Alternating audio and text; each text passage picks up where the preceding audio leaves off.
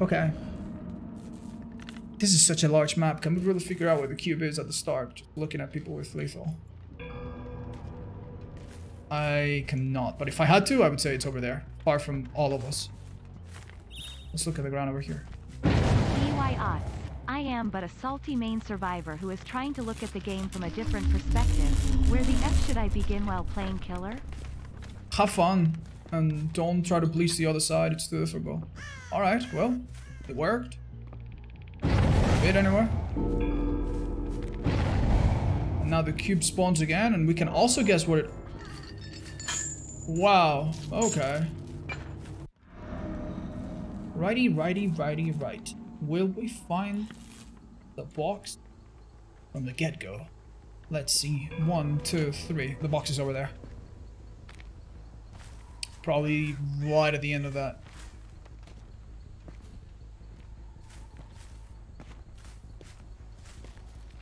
Yeah, yeah. You can do this consistently. Not every map. Not every match, but you can do it. Ooh, and field should be hard to, to find the cube, right? Let's see if we can do it three times in a row. Dude, I don't even see them. Bro. Okay, cube is right over here. Right over there. Should be here somewhere. Found it.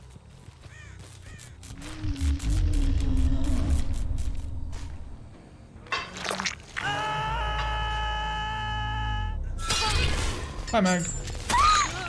Bye, Meg. Alright. Good early game. Uh, but I still have much to learn.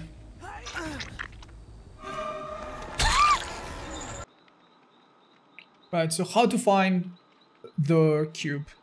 Every time the cubes... First of all, you need to understand when the cube spawns. It's at the start of the game. If you touch the cube, then it responds almost immediately. If they do the cube, it takes a few seconds. You hear a sound cue across the map, then it spawns.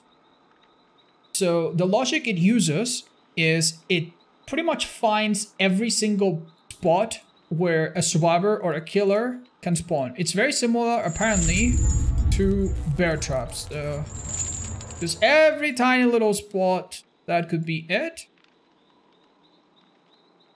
Basically, the game finds it. And then it gives every one of these spots a ranking. Uh, a set of points. And this is how the points work. And this is the important part. The killer has a 40 meter radius where this is about 40 meters where every point like this this this etc gets a minus 15,000 points so a negative 15 and every survivor gets a 60 meter radius where every uh, spawn point sorry it's a bit awkward. Every um every uh, spawn point gets a minus 5000 points. So what this translates to realistically is that let's say if the survivors are all here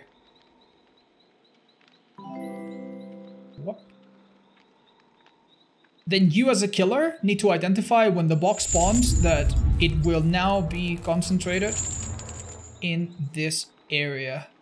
So if you just if you just do a little sweep around here, you should find it more or less easily. Don't forget that if you don't see it visually, you might hear its little zapping sound. If you happen to see a survivor walk through this path with barbecue, lethal pursuer, what have you, then that's giving you a good idea that yeah, it's here, they see it, they're going for it, interrupted. And if you have Franklin's Hoarder, that will only make it easier and easier to, to harass the box out of their hands.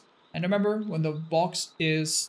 Um, when you take it from the survivors, it keeps the chain hunt going and resets it immediately. So they need to, at that point, 10 seconds later, when it respawns or whatever, the whole thing um, happens again. So that's how it works, basically.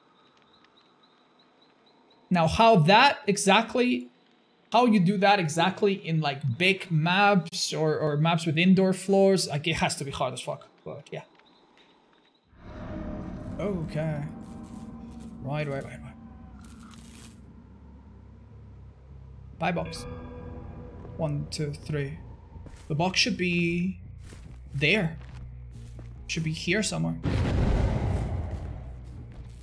Yes! Yes, you really can figure it out, huh? Alright, hopefully no one disconnects. And we actually get a chance to... well, sorry guys. My cheats are secret. Uh, we'll hopefully get a chance to um, see what the game is like once you do this. Wow, she really didn't do that. That was insane, dude. That was such a close one. And she just ignored that. I can't say exactly where the cube will be. I think it will be in that corner. Exactly.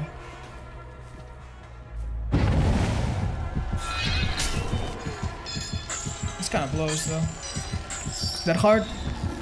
Why wouldn't you?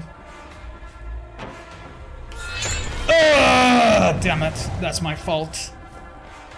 Damn it, that's my fault. And it blows that I have to admit it, but... This killer's so bloody difficult, dude. Damn it.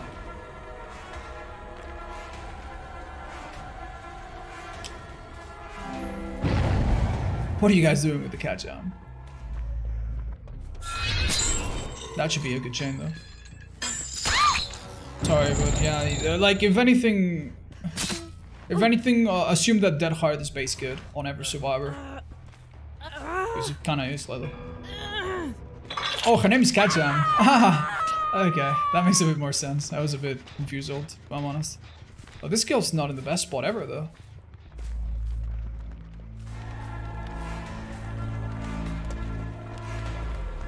Surprised she didn't that hard. You don't need to. You don't need to.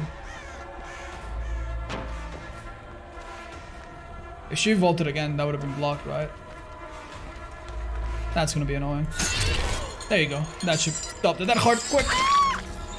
Nice. Uh, halfway through a new chain hunt. Considering that we have Corrupt, we've done good enough. And we're very lucky that they're opening chests and whatnot.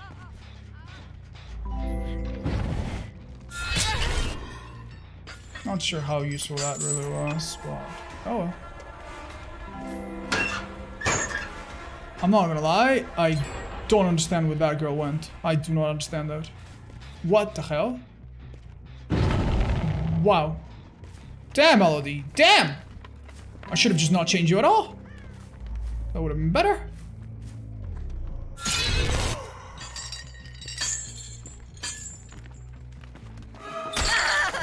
My flashy. Okay. This is a good spot, I reckon.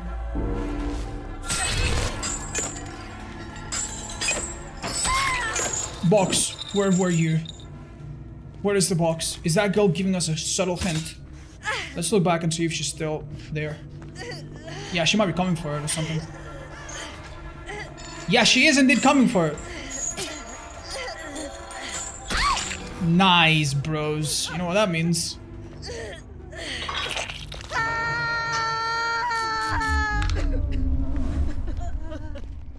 Useful. DS. Still on her? No. Right, they were pretty far, and they'll be harassed by the chains. So one of them needs to heal, one of them needs to go for the box, and some of them need to come for the eventual rescue here. Powerful stuff, right? But yeah, with this killer, you need to have a bit of the pig mentality. Understand that they have a second objective, and that their movements can sometimes give it away. So if you see a survivor walk towards a jigsaw box, you're like, yeah, well, that must be their last jigsaw box. Let's stop that. And if you see a survivor walk towards a corner that makes no sense, maybe that's what's happening.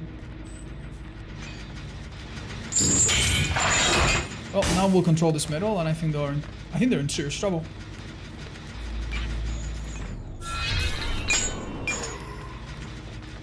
Don't forget that hard though. Nah, nah, we defend this.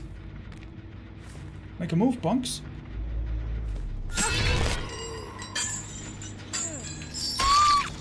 And we should see Ace run in front of us in two seconds. There he is. Jesus wept. Alright, go get him then. Sure, alright. We'll give him a chance. Oh.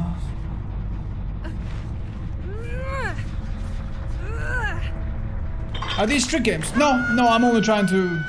I'm only trying to get better. Um, at this killer and understanding different builds and whatnot. As you could see, we actually could somewhat accurately pinpoint where the cube would spawn. Thanks to Lethal Pursuer.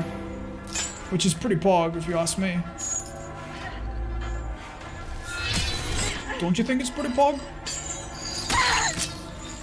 I think it's pog. Pinhead OP. Where would you rate him? Um, my tier list not too long ago. Uh, let's go over it in my mind. S tier is Nurse Spirit Blight. A tier is Hag Oni Huntress Pyramid Head Plague. B tier is uh, Twins in no particular order. Um, don't mind me. Uh, twins, Shooty Deathslinger Man, um, Cannibal, a Demogorgon, and so on. So the next tier below that, I think, would be would be the one for Pinhead. I don't think he gets any higher, quite honestly. Perhaps a really, really insane Pinhead would know exactly when to use his power and minimize the downsides and would constantly, constantly have a computational like brain to figure out where the cube keeps respawning. Because we did that a little bit and yeah, it seems strong. And you never know, maybe if you're so good at doing it, you don't need Franklin's, you don't need um, uh, Hoarder. Yeah. So, who knows? Maybe he can be better. Why do you lower twins from A to B? I think the current meta hurts them. And they also feel horribly, horribly sluggish.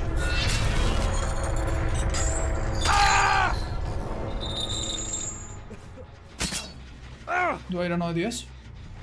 Yeah. Uh, also, uh, I mean, things around the twins have been nerfed slightly, so I think they're a bit weaker than before. Things that don't affect killers like nerves affect them more directly.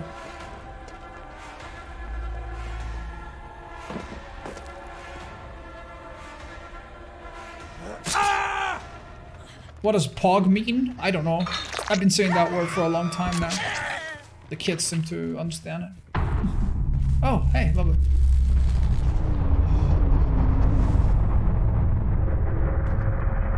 That's satisfying to look at.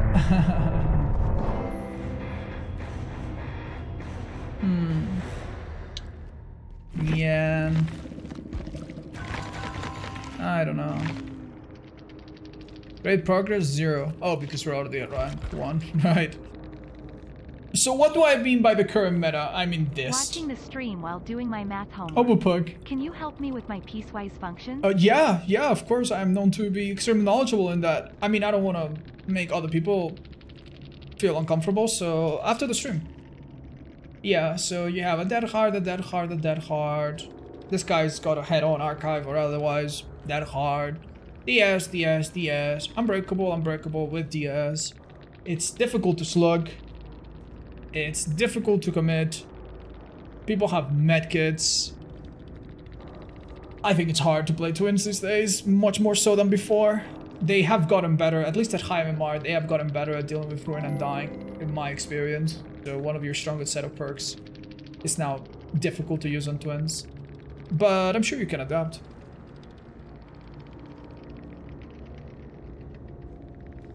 Oh well.